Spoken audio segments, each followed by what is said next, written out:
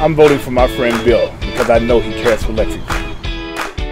Cegelka, I know that Bill Cegelka cares about Lexington.